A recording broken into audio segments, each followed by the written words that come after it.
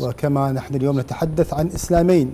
كما يقول الإمام الخميني قدس الله روحه الإسلام المحمدي الأصيل والإسلام الأمريكي.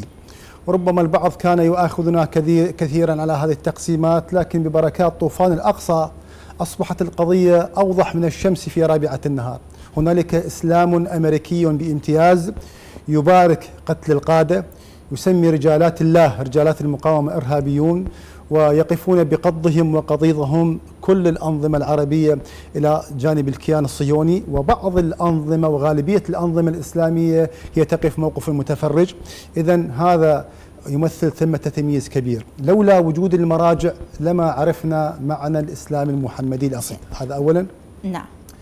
القضية الثانية بالتأكيد آه، وجود مراجع دين.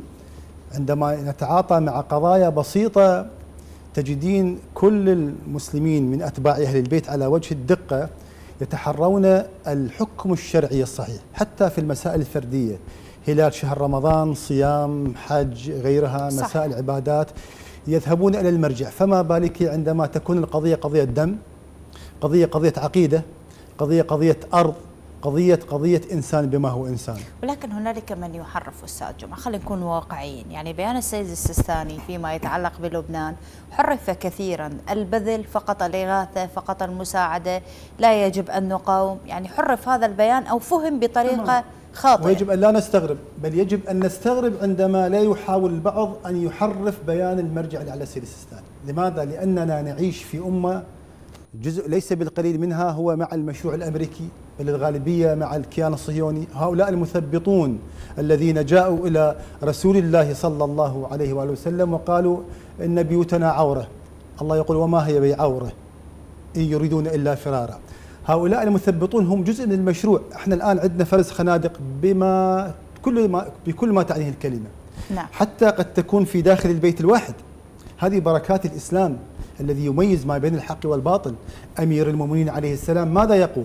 يقول كنا مع رسول الله نقتل آباءنا وأبناءنا وإخواننا وأعمامنا ولا يزيدنا ذلك إلا إيمانا وتسليما.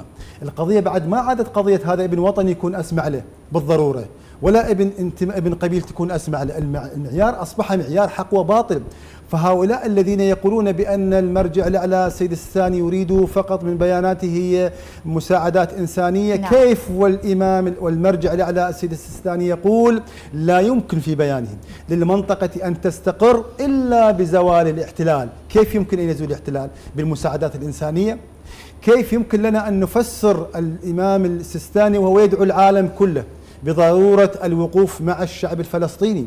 كيف يمكن لنا أن نفسر قول السيد السيد المرجع الأعلى السيد السيستاني عندما وصف قائد محور المقاومة الشهيد حسن نصر الله بأنه بذل جهده من أجل قضية فلسطين. هذو الوطنيون عندنا بالعراق المطبعون عندنا بالعراق اللي يقولون علينا أن نسير بسياسة النأي عن النفس.